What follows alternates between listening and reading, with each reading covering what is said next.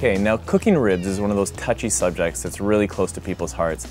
I'm sure many people would disagree with me on this one, but I have a method of cooking ribs on a grill that renders them nice and tasty, super smoky, and extremely delicious.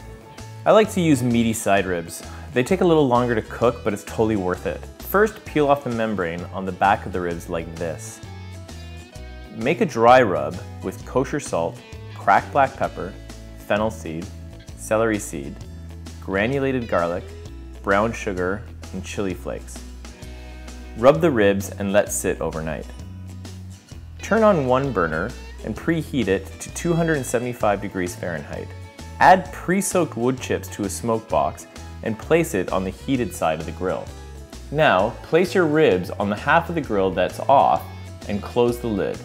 The internal temperature of your grill should be about 250 to 300 degrees Fahrenheit, no higher, for about five hours or until the meat is slightly pulling away from the bone of your ribs. While the ribs are cooking, I like to baste them with a little apple juice and cider vinegar every couple of hours. When you have about 30 minutes or so of cooking time left, brush barbecue sauce all over the ribs until they're nice and caramelized. Cut the ribs between the bones and serve them with a big old bowl of potato salad. It does take a while to cook these ribs, but believe me, you'll be glad you waited.